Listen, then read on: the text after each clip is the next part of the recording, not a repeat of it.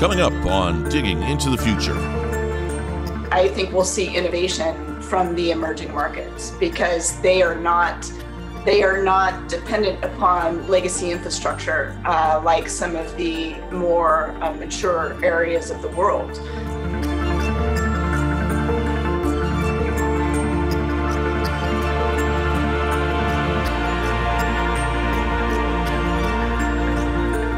Hi, we're uh, fortunate today to have uh, Keri Gilder, the CEO of uh, Colt, joining us um, from London. And uh, Keri comes to us um, with a background both on the equipment side, where she worked at Ciena for many years, and, uh, and then obviously coming into uh, to Colt in the last 12 months. very, very dynamic leader who's, who's shown an ability to operate through this COVID period. Looking forward to having a, great discussion about what's going on in Europe today, but also looking forward into the next 10 years, what's going to happen. So, uh, welcome to Digging into the Future with us, Keri. So, Keri, how are you? I am great. As you can tell, the sun is shining in London. It's always a good. Uh, it's always a good start to the day when that happens. Uh, it is. Uh, it's a rare thing in London, I guess. Uh, and, and, you've got the um, unique uh, reality that you've actually had to be a, uh, a COVID CEO for your, your first, uh, first year. So, how's that been? And uh, is it a lot different than uh, when you're at uh, Ciena trying to, to run the, the business uh, when you could actually see people and shake hands and have meetings and lunches and, and stuff like that? Is it, is it that much different, or do you find it the new normal? Uh, I do think it's the new normal. I think after being a year in a remote working situation across the globe, I think we've all developed new habits. And so those habits, many of them will not go away, they will stay with us. And I think in some ways that's a positive. Uh, it's, it's helping create a more sustainable environment for ourselves as we don't commute. We're more productive. That's been proven. Uh, at the same time, though, I have to say I would like to have that 3D engagement with some of my employees and be able to walk down the hall and hear the chatter as to what's going on and just have that vibe around me. But in COVID, I've been able to reach more people, I think, than I would have if I was still reliant on that 3D world. So, in some ways, the business that we've grown up in, communications, has enabled me to actually have more outreach than I think I normally would have, have had. Let's switch to sort of the industry stuff. Um, you're one of the first companies actually to be a power player both in the data center space and the telco space. There are also people who think that telcos and data centers will go up the stack, so actually getting to the software layer. Um, do you see that happening, or do you see it sort of staying at the infrastructure layer? I mean, it's I've always believed that it's hard for telcos to, to, to climb that, that stack. Uh, you know, many tried and, and failed over the years. Um, but actually, it seems like Colt has done some of that to a certain extent, and there are success stories. So, I, I what do you think? Do you think uh, there will be this integration with the ICT sort of stack, or, or what's what's your thoughts? I think that there has to be some integration with the ICT stack. I think that if I look at the strategy for Colt, we're, you know, we're definitely making uh, bets and putting investments around uh, software-defined networking, net, you know, NFV. We're looking at on demand. We're looking at quantum computing, uh, 5G, and what that brings uh, as far as uh, ensuring that we have the reporting and analytics associated with that. All of that is software development.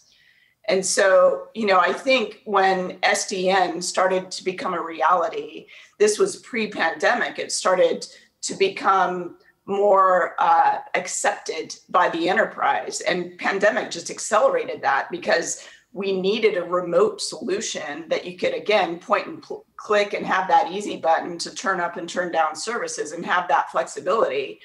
I think that that turn up and turn down of service is going to start to blend between the infrastructure itself, whether that be a firewall or a uh, you know a, a routing uh, service as a, a, VNF on a, a universal CPE device, or whether it's getting into that higher workload and application space where you're actually driving some of the analytics and the insights that are required for CIOs to make the right decisions as far as how they're supporting their customer base, you know, throughout their enterprise.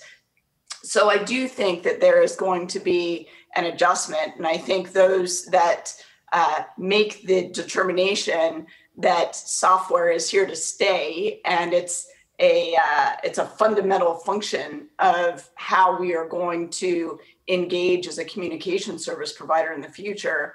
I think those companies will survive and the other companies i think are going to have a hard time. Yeah and it's it's I, I think it's always the trade-off because i think a lot of us always think that the enterprise will actually do the secret sauce right? So you always think that the bank will buy the data center space the network and then they'll uh, do the integration. And so i think it's it is interesting because i think there is an argument to say that as as businesses tend to look to outsource more and more, they'll actually and also they don't want to spend the money, right? I mean, I think it's becoming a very uh, commoditized, and, and bandwidth is very important, and the software is maybe not as important anymore. And so I think it is interesting. I think whether telcos actually make that jump or not, and uh, it's more of a challenge, I think, because also you have to think about it from a global scale. Um, so I mean, what do you think? Because do you how much do you do in the emerging markets? Do you see that uh, this will be a trend in the emerging markets, or do you think it's going to be still the pipe and and uh, you know sort of selling pipes and hardware um, in in the emerging markets? Yeah, I, I, I think it, it absolutely. I think we'll see innovation from the emerging markets because they are not they are not dependent upon legacy infrastructure uh, like some of the more uh, mature areas of the world. So we'll see more mobile apps. We'll see more of that, again, that easy button, you know, where it's not just the technology that enables it and you have this Amazon like platform, you know, for communication services down to an SME. But I also think that we're going to see some advancements when it comes to procurement, when it comes to contracting, when it comes to enabling SLAs. And I think we're going to start to see a shift in the requirements around those SLAs, and they'll be more experience based.